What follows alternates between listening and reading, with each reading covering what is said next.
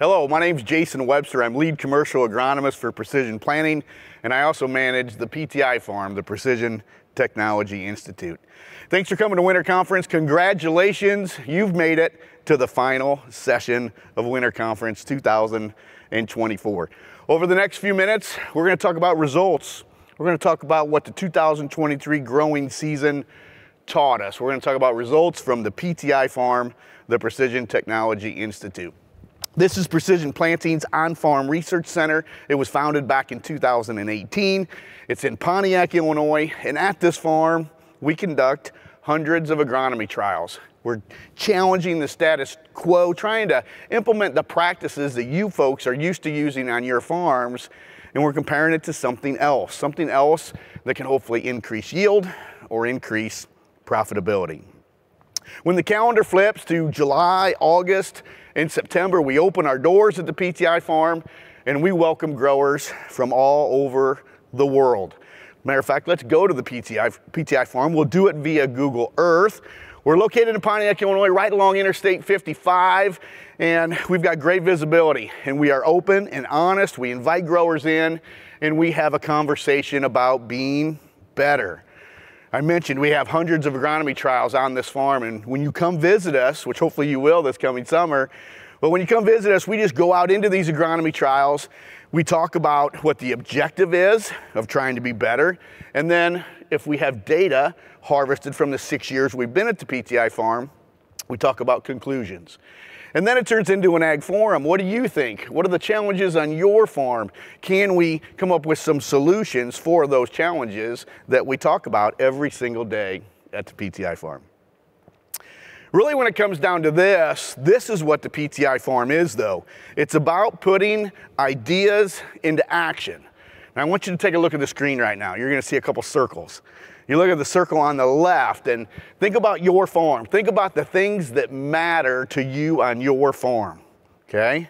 There's lots of things probably going through your mind right now. But then look at the other circle on the right. Let's think, let's think about things that we can control. Think about it. In farming, how much can you control? Let's talk about that for a minute. You see some things on the screen right now. How many of these items matter to you?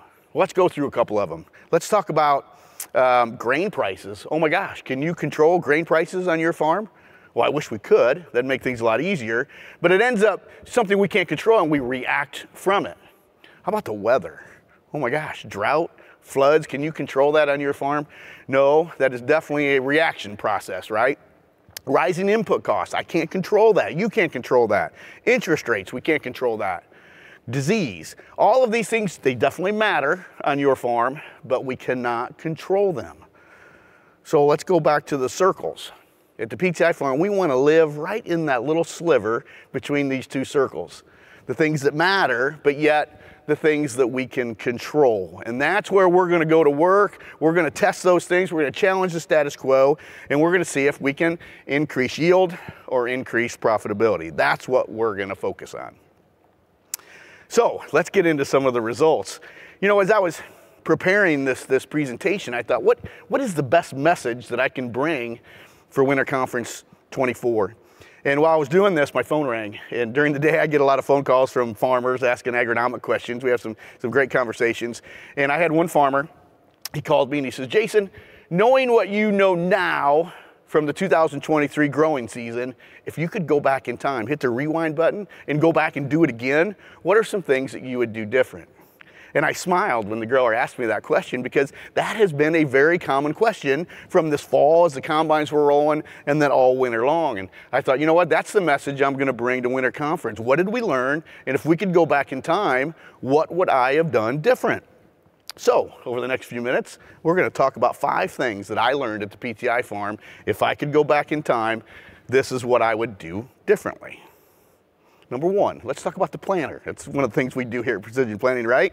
I'm gonna go, if I could go back and do it all over again, I would go to my planter and I would remove every single stage closing system that I have on the planters at our farm.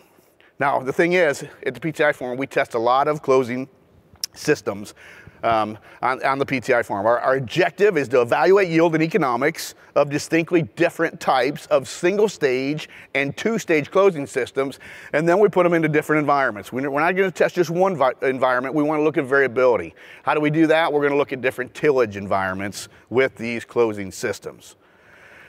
Now, the different tillage programs. I try to have what everybody is using um, we, we, got conventional tillage, and then we look at the re reduced tillage programs, vertical till, strip till, and no-till. And we're going to ask ourselves a couple questions. Does my tillage program determine what closing system I need on my planter?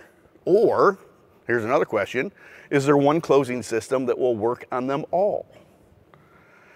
Now, the data I'm going to bring you here today, this is, these are the closing systems that we had in our testing protocol. Okay, and we'll go through these one by one, but you'll notice there's distinctly different closing wheel systems uh, on the screen right now. Now, this is the closing system that is probably most familiar to all of you. This is what we've used for decades and decades, the smooth rubber system. It's also been one that has posed us a lot of challenges, and that's why there's so many aftermarket closing systems available for sale for, for options for your planter at home.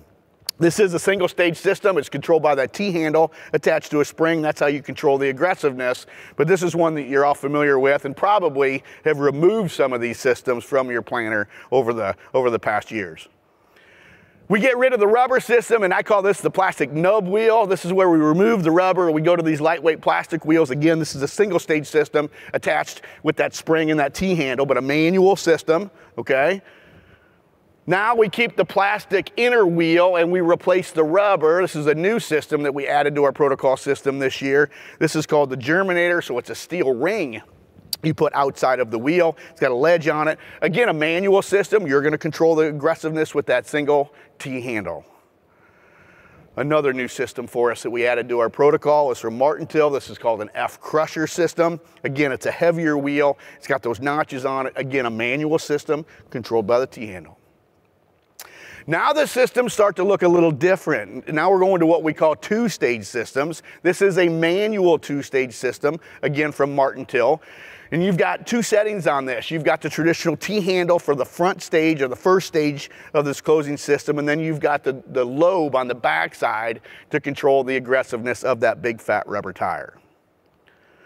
We're comparing all these closing systems to Precision Planting's active two-stage system called Furrow Force. Now, when we think about closing systems, I want them to do two things for me. All I'm asking for my closing system is to do two things. Number one, does that planter makes a pass, those disc openers are gonna create those sidewalls, and I need to lift and fracture them. I need to remove them, make it look like I was never there. And then the other thing your closing system needs to do for me is remove the air pocket. Now, if you look at the screen right now, you, you see a seed that we put in the furrow. We did not remove the side walls and that seed is surrounded by an air pocket. So this seed will not germinate quickly because it's attached to air, not soil where it can imbibe the moisture from the soil.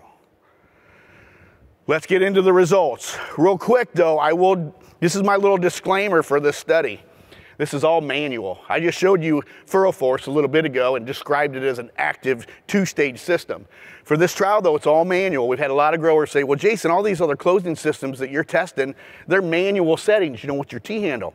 And I said, yes. And they said, well, why don't you test FurrowForce that way to make it fair? And I said, you know what, let's do that. We're gonna compare apples to apples today. So all of these closing systems will be totally manual settings. All right, now I mentioned we're gonna look at different tillage programs. Here's my most aggressive right here. This is my, my primary tillage. This is a disc ripper in the fall, and then we're gonna work at one time with a soil finisher in the spring. And my question to you is, what type of, what type of closing system do I need in this environment? Well, here's the results. You'll see FurrowForce on the right on the, in the green bar. We're running 280 bushel corn, some really high yielding corn. This is dry land, not irrigated. But you can see that the FurrowForce in a manual setting, it's 35 pounds, it simulates a standard setting on the 2020 monitor, did in fact beat all the other closing systems in this conventional tillage. Not a huge range here, but look at the very bottom of the graph. You'll see all of them have a net loss on an economic basis, every single one of them. That's conventional tillage. Let's go to a different tillage program. Let's go to strip till. We're very big advocates of strip till at the farm. It's not conventional tillage, it's not no-till. Also allows us to band fertilizer. We really like this system. But if I go to this, what type of closing system do I need on my planter to be most effective? Here's the results, running 277 bushel corn with FurrowForce. This is where we start to see some discrepancy. Now these other closing systems that we're testing, we're seeing some large numbers here. Look at the dual rubbers are seven bushel off the pace, the Martin two stage, 10 bushel off the pace, and now look at the corresponding yield lo or uh, economic losses on a per acre basis. You'll see some of them approaching $50 losses. That's an important number because when you come to the PTI farm this summer, you're going to hear me talk about what can you do on your farm to make another $50 an acre. And ladies and gentlemen, we have one right here, just with the way we have our closing system on the planter. We're going to talk about more as we go through the presentation here today. Let's switch gears. Let's go to a different tillage program here. Let's get away from strip till and let's go to vertical tillage. This is one of the biggest trends in the industry, folks going to vertical tillage. I look at this tillage program and say, all right, now we're really going to have to look at our closing system. What is going to work best in this tillage environment? Let's go to the data from this fall. 275 bushel corn with FurrowForce in that manual setting and look at the yield differences with these other manual closing systems. Again, we're starting to see 12 bushel losses, 11 bushel losses, quite a bit of yield difference here. And again, look at that bottom line. Now we've got some closing wheels that are losing 60, almost $70 on a per acre basis. Lastly, no-till. We're trying to implement more no-till at the PTI farm, but this is, this is really important if we're gonna do this because you're gonna have to have a good closing system to get rid of those sidewalls and push that air pocket out in this no-till or reduced tillage environment. Look at this, you know, I told you we're testing that dual rubber system. You know, we've used it for decades and we've, we've kind of gotten rid of it on some of our planters because it couldn't perform very well. Here's a perfect case. That system just can't handle a no-till system. That's a 17 bushel loss per acre and we're approaching over $90 on a per acre loss. Tremendous, but all the other systems as well, net losses across the board. So I got all this data uh, calculated, I presented it to you today. I, I thought maybe let's just average all the data okay? Let's look at it in all of our tillage environments. You might be saying, well, why would you do that? I know on your farm, you probably have one tillage program, if you look at your individual farms, you may not be flat, black, and beautiful. You have a lot of variability, a lot of roll, different soil types and things like that. And that's why we wanted to look at different tillage programs, average them all together to look at the variability. And you can see these closing systems that we tested, yield losses from five bushel all the way up to near 10 bushel per acre. You look at the economics of this, and again, those are significant losses of near $50 per acre on some of these systems. So getting back to what would I do different if I could do things over again, I would go to my planters that have the single stage system on them and I want to get rid of them. I want to take that, that, that manual single stage closing wheel system off the planter and I want to replace it with a two stage active system in FurrowForce that first stage of FurrowForce, lifting and fracturing our sidewalls. It's done an excellent job for us. And then the small rubber wheels on the back being our, our second stage, stitching that soil together and pushing that air pocket out. Now, even though we tested this as a manual closing system here today, but one of the biggest value propositions with this system is it can measure and it can react and it can change. That's why we say it's active and it'll do a tremendous job for us. Now look at the, the, the video on the screen here. We're gonna see FurrowForce on the left, and we're gonna see these competitor single stage manual systems on the right. We set the planter down, we make the planter pass. Now look at the competitor systems on the right. Look where that seed is tucked into the trench. Can you see where the sidewalls were? Yes, you can. They haven't been removed, and we've also got an air pocket next to that seed. You guys ever done this? You guys that run the, the planter at home, if you ever done this where your closing system didn't work properly, you didn't remove the sidewalls, you left an air pocket, and then it didn't rain. You ever had that happen where it dries out and you can almost look down if you're walking through the field, you can look down into the trench and actually see the seed. You guys ever had that happen? That's a bad day. It happens a lot though, but that just means your closing system didn't perform. Look at FurrowForce on the left. See how that seed is tucked in? You can't see where those sidewalls were at. We don't have an air pocket. This is important because this is gonna give us our fastest germination and uniform emergence. You see, we do flag testing at the PTI farm. We do this every single year. Every 12 hours, we're out flagging our corn, looking at uniform emergence because we know if we don't get uniform emergence, we're going to lose yield. How much? We give ourselves 12 hours. From the first time a seedling pokes its head up out of the ground, the first one in our field, within 12 hours, we want the rest of them up. 12 hours. Because after 12 hours, we start to see an 8% yield hit. Another 12 hours later, now we're out to 36 hours, we're losing a third of our corn crop potentially. We go another 12 hours to 48, we're losing 69% of yield. And then anything after 48 hours, that is tremendous with 80% crop losses. So it's very important to get fast, uniform emergence. All right, what else would I do different if I could do 2023 over again? I would have banded more fertilizer. We've had a quest at the PTI farm to get rid of broadcast fertilizer. You've heard about um, our band versus broadcast information here at Winter Conference. Uh, we're trying to get rid of the broadcast fertilizer. I don't want to fertilize every square inch of my soil.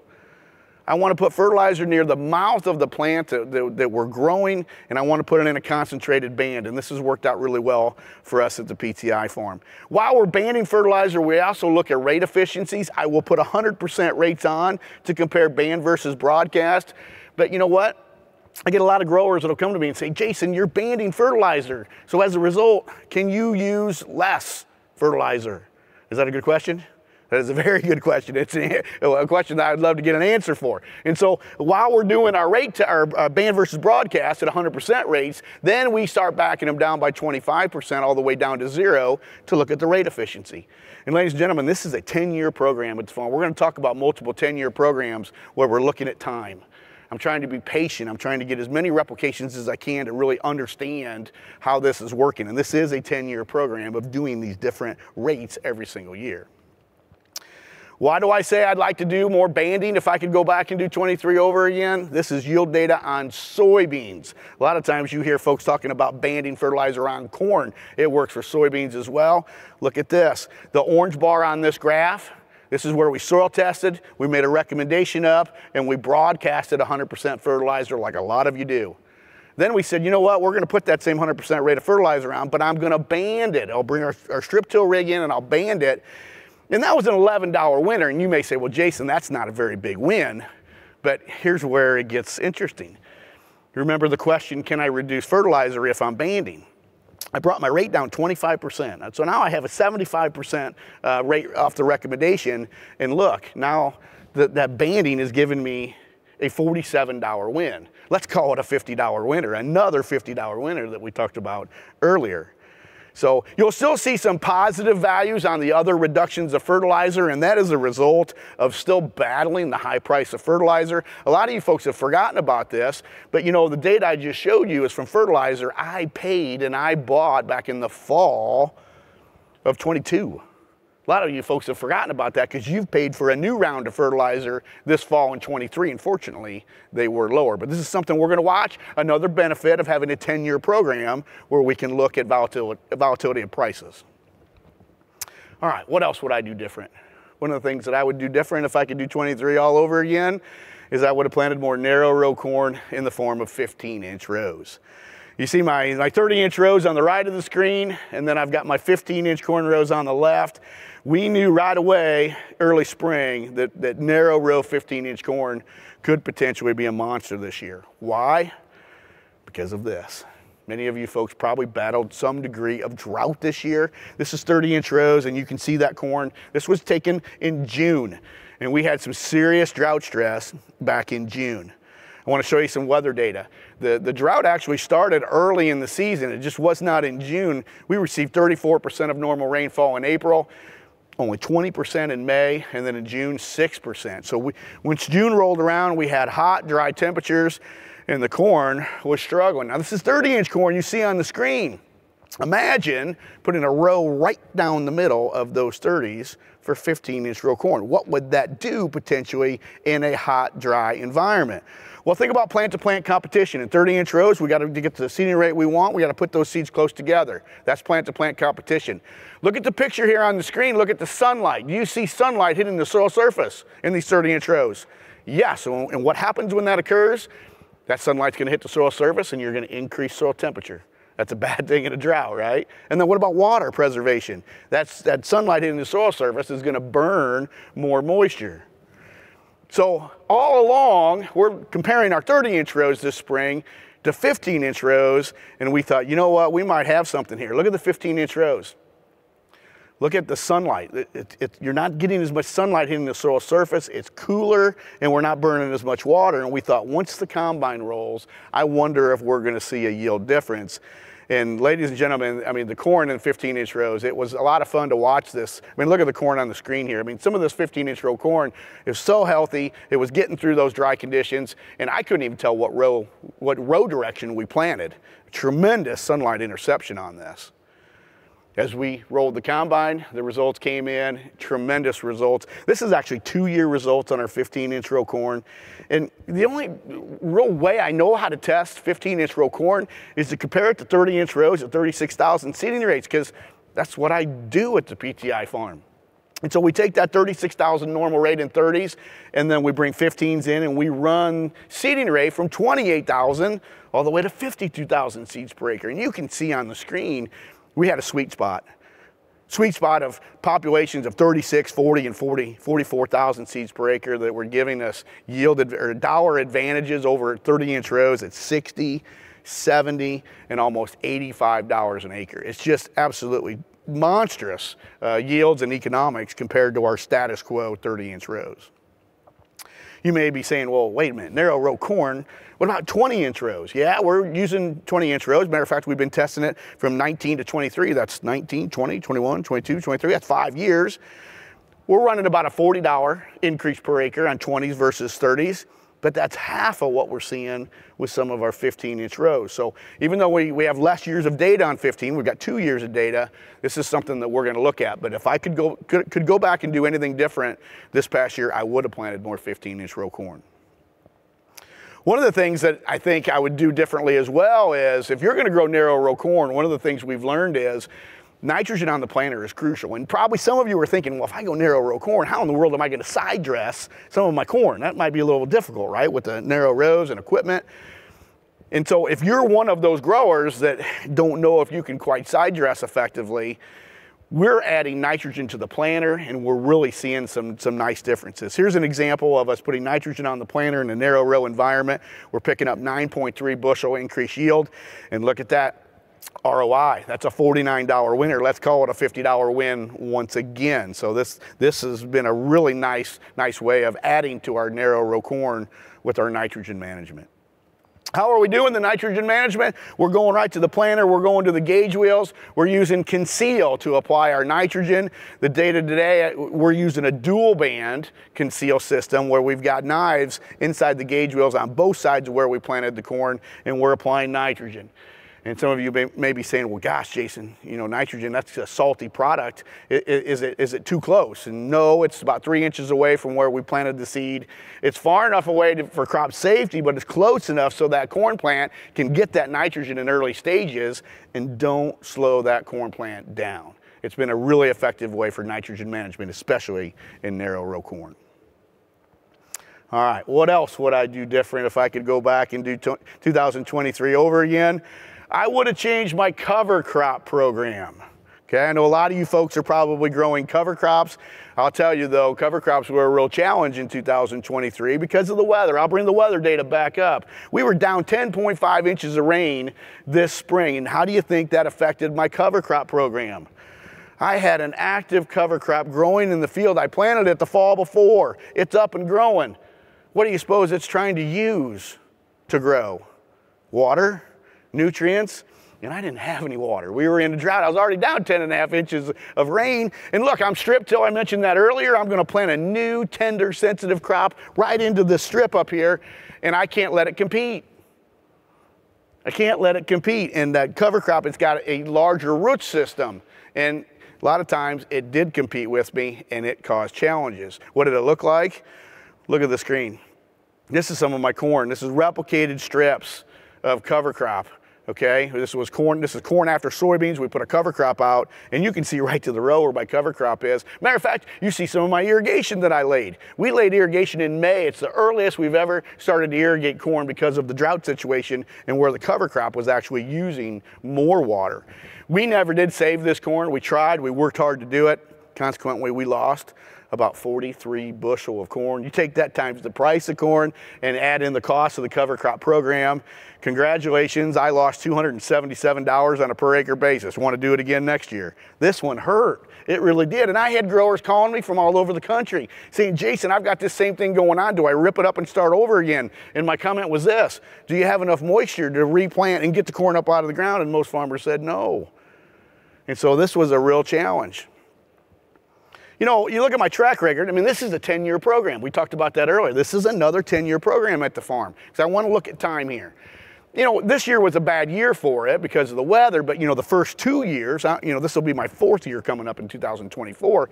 You know, the previous two years, I did okay. I never lost yield one year, and one year I actually picked up four and a half bushel of corn. But I will say this though, you add the cost of the, the program and to buy the seed and, and to put it in the ground, I've never made money on my cover crop program. And some people may be disappointed in this. I'm excited about this because I'm, I'm waiting to see the transition. Some folks say it's going to take time to put a cover crop program in and see the benefits. I'm hoping to see that very, very quickly here. It even happened with soybeans. We started harvesting soybeans where we had a cover crop program in place. And I thought, you know what? This is my answer. This is what this is where cover crops are going to be a good fit because we were harvesting 91.3 bushel beans, dryland beans in our cover crop. I said, this is where it's going to be. The problem is I got into my control areas where I didn't have a cover crop and the beans were going over 100 bushel. Consequently, I lost almost 11 bushel of yield. Take that times the price of soybeans and the cost of the program, and this was a $183 loser. So both crops really suffered with cover crops.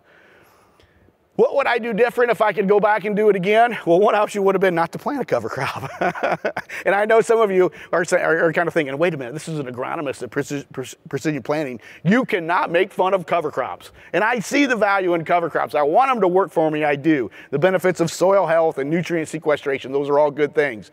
And so I still would have planted a cover crop. I would have but I probably would have changed the species to something that would have winter killed so it wasn't that competitor for me in the spring in the drought conditions. I would have terminated earlier too, knowing that there was a drought coming. I would have terminated a lot quicker. Although I don't think the cooler temperatures would have allowed me to, to have done it, but I would have tried.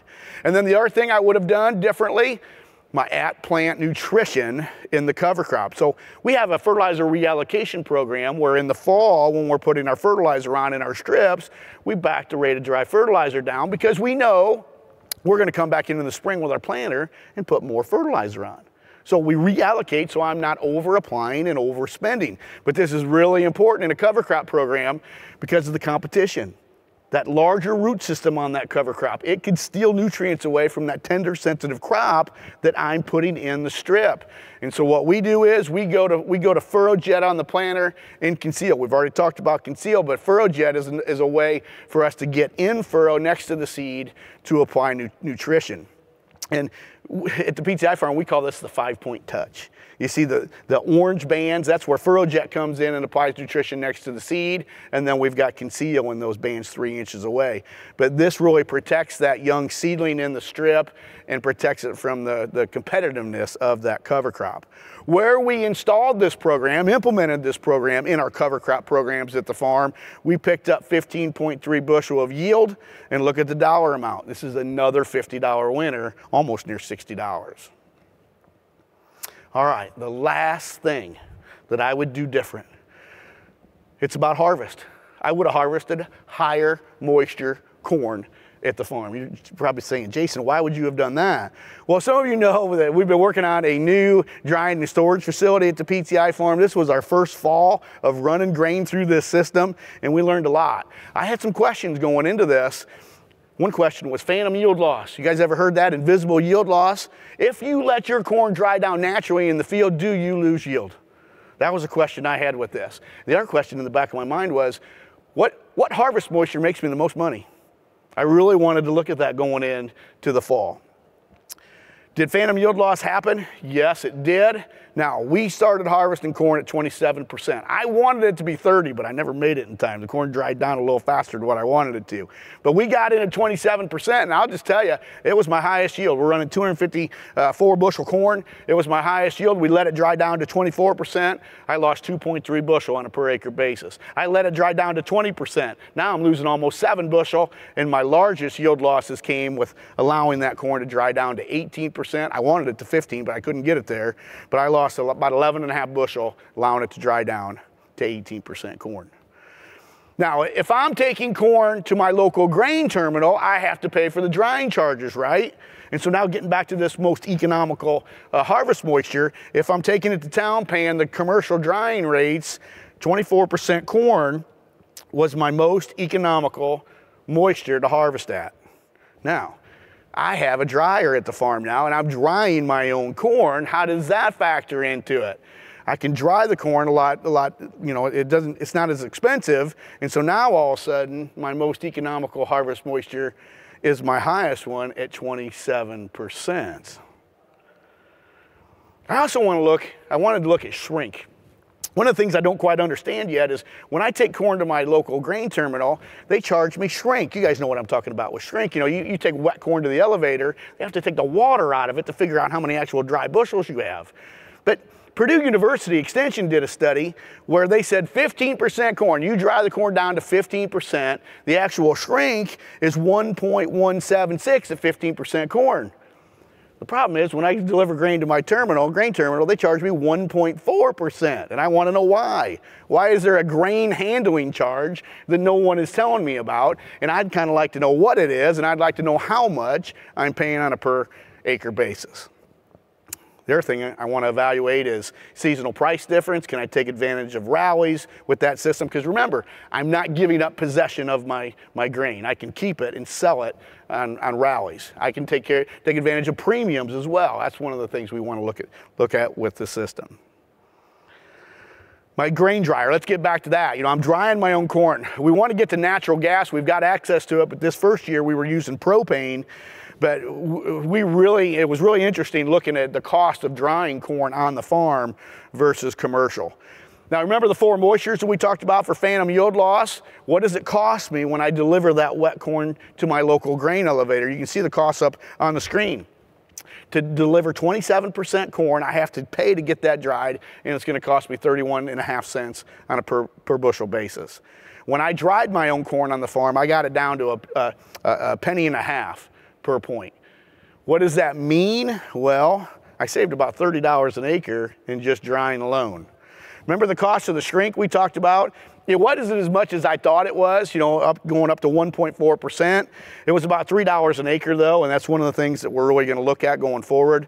The phantom yield loss, we lost about $6 an acre. It, it could have been worse, but I didn't harvest a lot of my corn at the super low moistures okay? So the, uh, we didn't have as much phantom loss. I think next year as we look at harvesting at some of the higher moistures, we'll see where that number changes. But all in and all out, I think the system saved me about $87 an acre. And when we look at return on investment, came in right at 13% ROI. Now, I want to tell you a little story. I'm putting all these numbers together and I like to have other people look at my math, you know, and proofread a little bit to make sure I don't make mistakes. And I sent this in to some grain folks and I said, take a look at, at my drying numbers here and make sure everything's right. And all of a sudden, everybody got concerned. Everybody saying, Jason, something's wrong here. And I'm like, what do you mean something's wrong? And they said, there's no way in the world you can, you can have that low of a drying expense with your local grain term terminal. I said, what, what are you talking about? I said, here's my prices that I'm paying to my local grain elevator. And I said, no way. They're, they're, they are just way too cheap. So I started looking around a little bit. I said, what, why is everybody saying this is wrong? This line graph you see on the screen, the three lines on the bottom are the three closest grain terminals closest to the PTI farm, and you can see the corresponding cost of drying for each of those three elevators at the four moistures we talked about here today.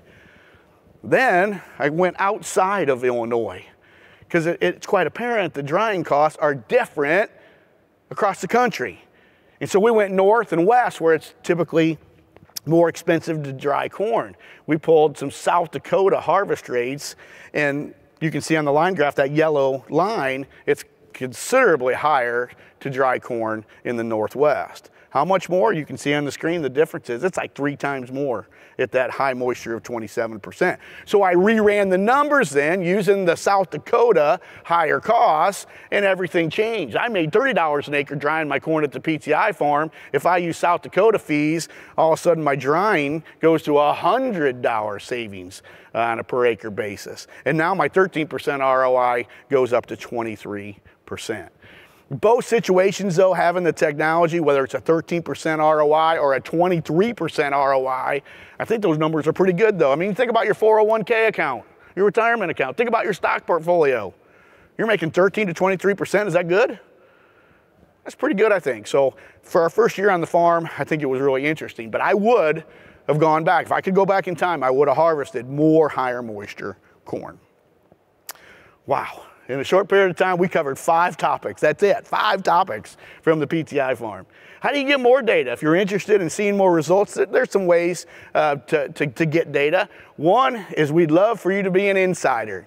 Uh, you can go to insidepti.com, and this is where we produce agronomic videos at the PTI farm, and we'll send them to your email inbox where you can watch these agronomic videos at your leisure. But this is just out in the field showing you the objective, showing whatever data or conclusion we have for all of our trials, but it's a free online video sent to your email. You can go to Inside PTI and sign up for this, again, for free, free of charge. One way to stay connected is we'd love for you to come see us this summer at the PTI farm. How do you get an invite to come to the PTI farm? Simple. Talk to your local precision planting premier dealer and they would love to give you a VIP experience. We just released our 2023 yield summary report. This is also available free of charge through your Precision Planting Premier dealer. You can ask for this, get this as a paper copy or an electronic copy, but this year, 265 pages, over 100 trials in this yield summary report. Again, free of charge. And lastly, starting next week, we're going to go on tour. We're going to we're going on tour to what we call Inside PTI Live. We're going to have 17 stops across the country, 16 locations. I think we're traveling through 13 states, and we're going to dive into more PTI agronomy. Here's a list of all the locations. I won't go through them all. You can see them up on the screen, but hopefully there'll be a meeting near you where we can come together and talk about agronomy and I, I, think our best way to think about this meeting is we're going to talk about more return on investment, more ROI. What are the things that made me the most money at the farm this year, at the PTI farm, and what are the things that cost me the most money? It may be hard to see the, the, the, top 10 and bottom 10 up on the screen right now, but I'm doing it on purpose. I'm doing it as a little teaser. So you'll come to one of our Inside PTI meetings and, and, and talk about this with us. Have a conversation about being better. But you can go to our website and register, and we'd love to see you at one of our Inside PTI Live meetings starting next week. Well, that's all the time we have for this session. Thank you so much for coming to Winter Conference. Thanks for allowing me to talk a little agronomy from the PTI farm. Hopefully you've learned something and you can take it home to your farming operation. Thank you very much.